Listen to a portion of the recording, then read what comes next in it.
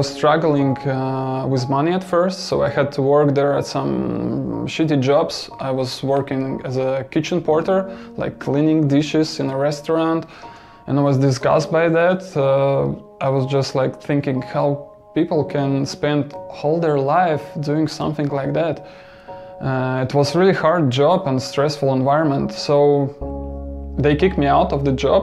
I was kind of homeless at one point, and uh, I was in London. I have no place to stay. I had no money, so the only thing uh, which came to my mind, okay, I will go to uh, to the streets of London and I will just play music, and we'll try to earn some money.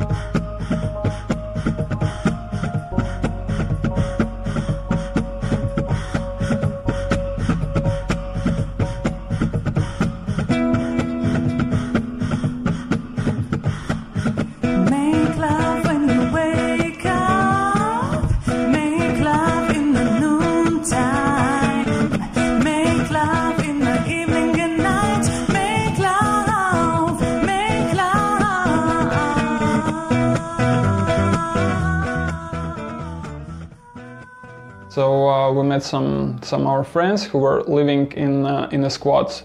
Uh, squats are um, abandoned houses. It's basically house which where no one is living. So if nobody lives there and you can get there inside, uh, you can kind of live there until the police evicts you. So we went there, and it was kind of perfect life.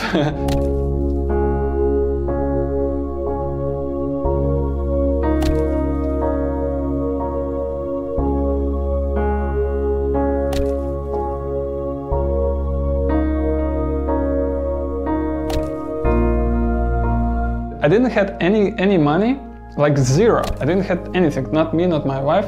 Yet we were in a community of similar persons. There were artists, there were filmmakers, there were photographers, uh, musicians, and all kinds of creative people who also was struggle with money, and they were in squads uh, because they were working on their own projects.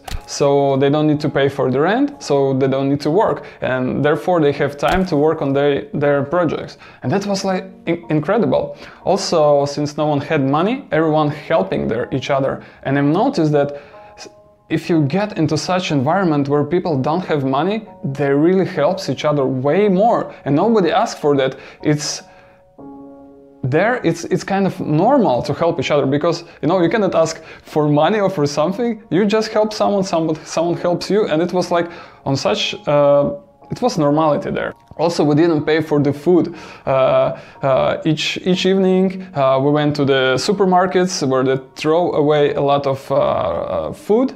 And i was shocked by that. When you open uh, the container and it's full of fresh and good food.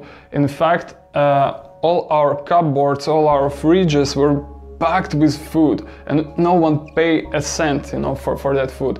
The food wasn't the problem at all. And I was really shocked by that, like how much we waste. I was living like that uh, maybe for about two years. During that time, we were moving from one uh, house to another because you cannot really live for a long time.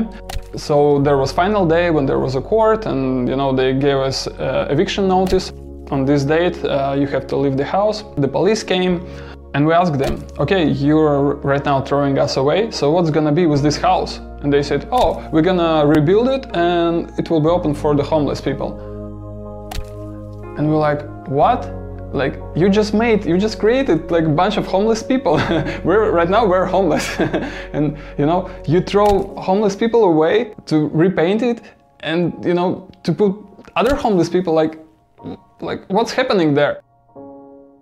I understand like how perverted this the system is that it doesn't really think about anything. It, there's no logic in it and also, being in squats, living without money, I understand one very important lesson which stays with me till this day that money is a limitation tool and nothing more.